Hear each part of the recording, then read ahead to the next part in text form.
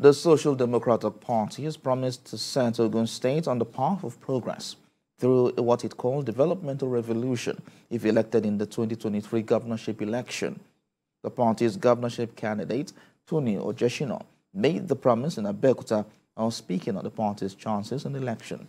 He said the party will engineer industrial, energy, agricultural, and infrastructure revolutions to turn Ogun State from consuming to producing state.